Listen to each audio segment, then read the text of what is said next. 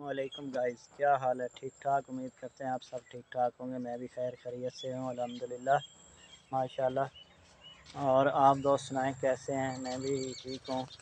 काफ़ी दिनों बाद वीडियो बना रहा हूँ, क्योंकि मैं मुल्तान गया हुआ था। आपको बताया भी था, लेकिन उधर कज़न का प्लेट था, इसलिए फिर कोई वीडियो शीडियो नहीं बनाई। मेरा अच्छा नहीं लगता था, और सी एम में थे, हॉस्पिटल में थे। उधर अलाउ भी नहीं था वीडियो बनाना।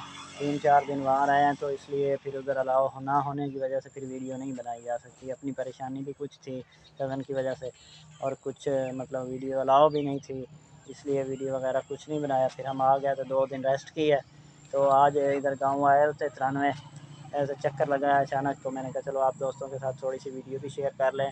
और मेरी तरफ़ से आप सब दोस्तों को, जिन्होंने मेरे चैनल को सब्सक्राइब किया हुआ है लाइक किया और जिन दोस्तों ने नहीं किया हुआ और मेरी वीडियो देखते हैं उन दोस्तों को मेरी तरफ़ से एडवांस ईद मुबारक और रोज़े मुबारक। मेरी तरफ़ से एडवांस एडवांस एडवांस ईद मुबारक और रोज़े मुबारक हों। तो और ईद पे भी इंशाल्लाह आप सबको मुबारक देंगे, लेकिन आज छब्बीस रोज़ा हो गया तकरीबन, माशाल्लाह माशाल्लाह, तीन चार रोज़े रह गए तो इसी वजह से मैंने कहा आप दोस्तों को एडवांस ईद मुबारक भी दे लें और रोज़ों के भी एडवांस ईद मुबारक कह लें कि आप, रोज़ों की भी एडवांस मुबारक कह दें यार।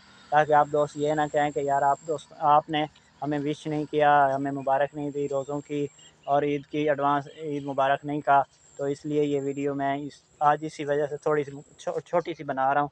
तो आप दोस्तों से मेरी यही गुजारिश है लास्ट में कि मेरे चैनल को सब्सक्राइब लाइक ज़रूर करें।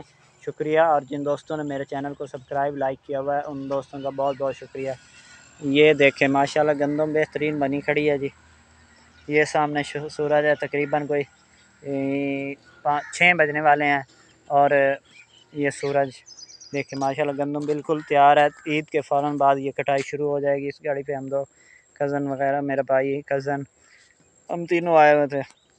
जिस कज़न का ऑपरेट हुआ है ना तो उसने मुझे कहा, यार, आज मुझे ले चलो, काफ़ी दिन हो गए हैं। तो एक तो गाँव का चक्कर नहीं लगाया, दूसरे नंबर पे ये है कि ए, मेरा दिल नहीं लाग रहा तीन चार दिन हो गए बैठ बैठ के थक गया बंदा। मैंने कहा चलो ठीक है हम चलते हैं जी। तो इसलिए फिर आज अभी आए हैं तो मैंने कहा आप दोस्तों के साथ छोटी सी वीडियो शेयर कर लें। तो इन इन जिस तरह का इंजॉय करेंगे आप दोस्तों के साथ वीडियो शेयर किया करेंगे इन अपना ख्याल रखिएगा दुआ में ज़रूर याद रखिएगा। अल्लाह हाफिज़ ज़िंदगी रही तो इन फिर वीडियो बनाएँगे। और फिर आखिर में यही लफ्ज़ कह रहा हूँ कि के एडवांस ईद मुबारक और रोज़ों की मुबारक सब दोस्तों को जिन्होंने मेरे चैनल को सब्सक्राइब किया हुआ लाइक किया हुआ शुक्रिया बहुत बहुत अल्लाह हाफिज़। अल्लाम